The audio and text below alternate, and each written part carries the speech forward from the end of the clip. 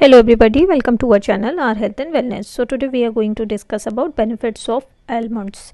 बादाम खाने के क्या फ़ायदे हो सकते हैं आज हम इसके बारे में जानेंगे एलमंड्स में कैल्शियम बहुत अच्छी क्वांटिटी में होता है फॉस्फोरस अच्छी क्वांटिटी में होता है और मैग्नीशियम अच्छी क्वांटिटी में होता है और ये वही इंग्रेडिएंट्स हैं जो हमारी बोन्स को चाहिए ये मिनरल्स हमारी बोन मिनरल डेंसिटी बढ़ाने में हेल्पफुल रहते हैं तो ऑस्टियोपोरोसिस होने का रिस्क बहुत कम हो जाता है ये हमारी इम्यूनिटी को बूस्टअप करते हैं।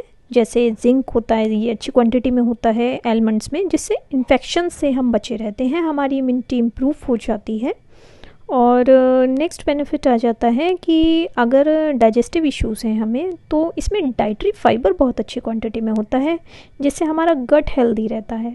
फाइबर से क्या होता है कि आपको कॉन्स्टिपेशन होने के चांसेस बहुत कम हो जाते हैं, क्योंकि आपकी जो पैरास्टाइसिस है, आपके बॉवल मूवमेंट्स काफ़ी रेगुलर रहते हैं। एलमंड्स में विटामिन ई e और एंटीऑक्सीडेंट्स बहुत अच्छी क्वांटिटी में होते हैं, जो कि हमें स्किन के लिए बहुत हेल्पफुल हैं और हमारा जो ग्लो है, जो यूथफुलनेस है, वो बनी रहती है।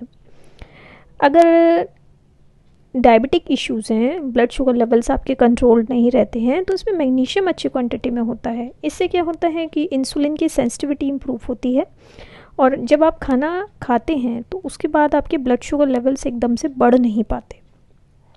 इसमें हेल्दी फैट बहुत अच्छी क्वांटिटी में होता है कार्बोहाइड्रेट बहुत ही कम होता है, जिससे ये डायबिटिक्स के लिए बहुत ही ज़्यादा हेल्पफुल हो जाता है।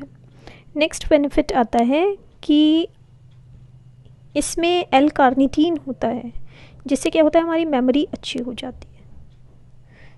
नेक्स्ट आता है कि वेट मैनेजमेंट में ये बहुत हेल्पफुल रहता है क्योंकि इसमें हेल्दी फैट्स होते हैं प्रोटीन्स होती हैं फाइबर होता है।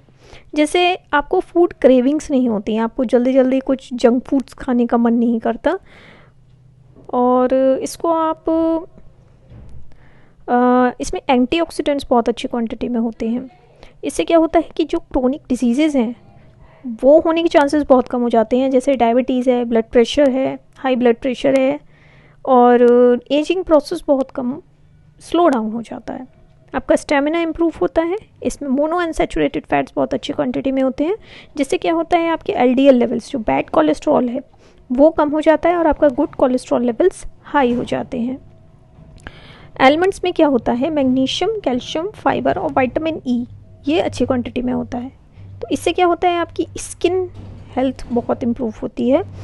और अगर आप इसको रेगुलरली अपनी डाइट में इंक्लूड करते हैं तो आपको ये सब बेनिफिट्स मिल सकते हैं। So that's all for the day